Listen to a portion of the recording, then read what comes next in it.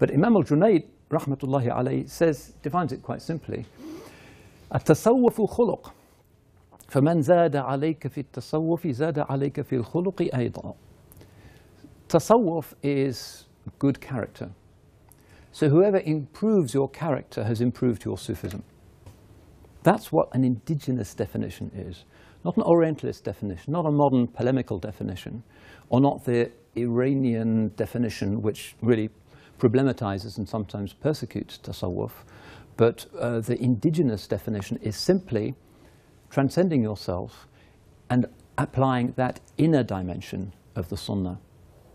So Islam is to be a total package, not just for what you do with your body, which is the fiqh, or what you do with your mind, which is the aqidah, but something deeper still, your, your consciousness, your internal subjectivity, your ruh, your nafs, all of that needs to be purified.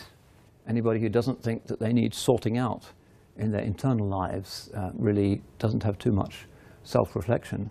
That is a necessary discipline. And when the ulama say, فَوَاجِبٌ تَقْلِيدُ حَبْرٍ مِنْهُمْ They mean it in a shari'i sense as well. Because if you look at the books of Usul al-Fiqh, the books which explain in extraordinary detail sometimes the rules whereby the Sunni legitimately deduces the rulings of the Sharia from the Quran and the Sunnah. And it's really complicated because the text sometimes really complicated and Arabic is really difficult and you have to use all kinds of rigorous methods of deduction rather than just saying what you think it means. That the first thing you have to get a handle on is your own self-awareness. Because ultimately these things are about theory choice. And theory choice is determined by the human subjectivity, which is often subject to emotion. And this is fatal. The Holy Prophet والسلام, says, لا يقضي القاضي وهو غضبان. A judge should not give a verdict when he is angry. We can see why, but that, that is the case, and it's also the case for fatwa.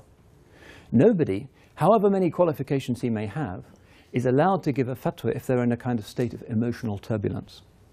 And this, it seems to me, is part of the the tragedy of the ummah nowadays, which is that instead of setting aside the lower tendencies of envy and fear and anxiety and rivalry and the stuff that every one of us, including myself, have within ourselves to identify it, to muhasabah and self-knowledge, and putting it in its box and stamping on it and keeping it out of the way of dealing with the Qur'an and the Sunnah. Instead, we open the sort of box, the Pandora's box of all of those afarit, all of those demons, and they're the ones that sway us when we reach for particular fatwas and options. That's a catastrophe, and that's really the end of the Ahl Sunnah wal Jama'ah. And that's the tragedy of the Ummah today. People saying, I know that the consensus of the Ummah is X, but I'm really angry, and therefore I'm going to follow Y, because I've seen this clip on YouTube where somebody seems to be saying that you can interpret it that way. That's the end of the Ahl Sunnah wal Jama'ah, because that's breaking all of the rules.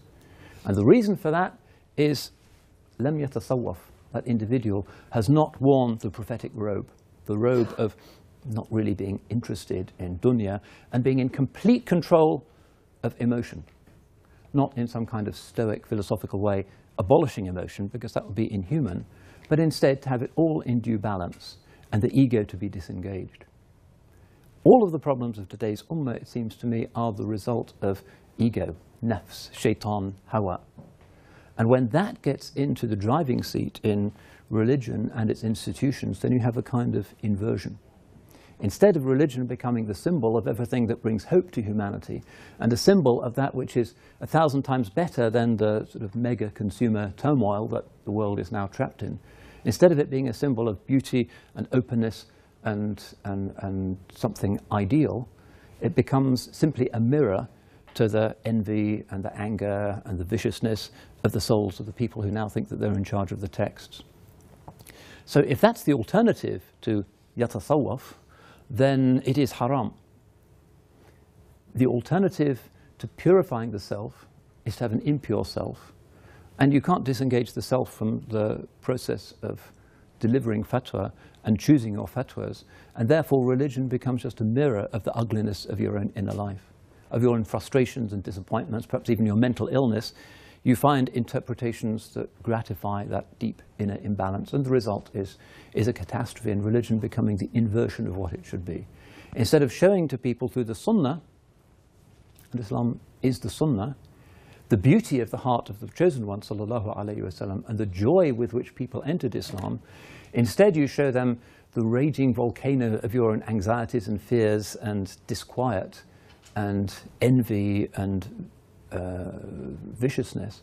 If you're showing them that and you say that is Islam, then that is the ultimate blasphemy against the Holy Prophet ﷺ because you're saying my ugliness is the Sunnah and you're attributing the turbulences and the darkness of your own ego or sub-ego to the best of creation wasallam and that's the worst thing anybody can ever do.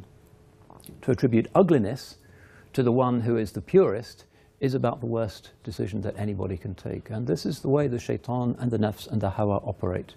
They want to take the best things, those things that give most light and hope and serenity to humanity and the human heart, and to turn them into things that are scary and ugly that drive the world away.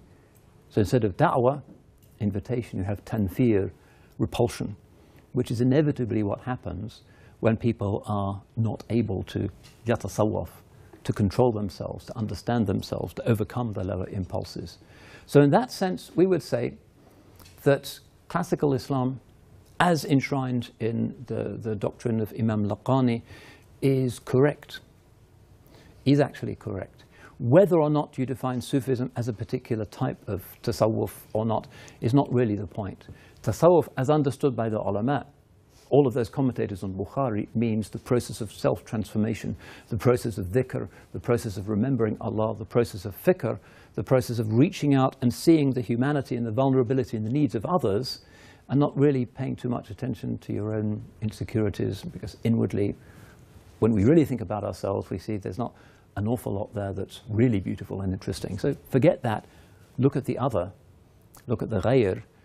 Uh, uh, without that possibility, without that tasawwafa, Islam is simply a megaphone for our own shaitan, for our own hawa. And therefore, not to engage in tasawwuf, uh, it is clear, and this really should be a matter of consensus for, for, for Muslims, if we're using this indigenous vocabulary, uh, that, that, that tasawwafa is actually an obligation if the alternative is tanfir and the uglification of Allah's religion and the taking of decisions and fatwa choices that are subversive and close the doors of Allah's mercy to human beings who have never needed their Creator more than they do in this age of confusion and, and precariousness. That's a monstrous sin. So we would probably say, we don't need this thing, Sufism, but we would probably say, using the indigenous vocabulary, we have to have this thing, tasawwuf. And that's why the ulama consistently, really without exception, down the centuries of our civilization have agreed that we do need this thing called tasawwuf. And even, some people will say, but Imam Sheikh al-Islam Ibn Taymiyyah says the Sufis do this and that. Read him for yourself. Don't listen to what the brothers in the masjid are telling you. Read him. And yes, his commentary on the Futuh al-Ghayb of Abdul Qadir al-Jilani. He loves Abdul Qadir al-Jilani.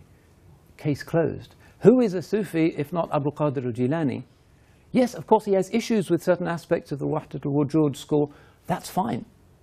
He has issues with them. They're well expressed. But it's not against Tasawwuf. Ibn Taymiyyah is not against Tasawwuf. Who is? This is one of the remarkable points of unanimity and consistency in our civilization. Despite the many voices and the plurality which we've always said has con constituted its most authentic theme, still, the ulama have agreed, the Ahl Sunnah wal Jama'ah, that this tasawwuf, really is necessary in order to operationalize your Islam. Even if you don't use that word for whatever reason, even if you just say self-knowledge and dhikr and riyada and muhasaba and sabr and shukr and husn al-khuluq, use that vocabulary instead, that's fine. But the term that ulama have usually preferred to define the science of those inward processes of transformation is tasawwafa. So we would conclude that Islam can do without Sufism, but Sunni Islam is constituted by having tasawwuf at its heart. And without it, it will have no heart.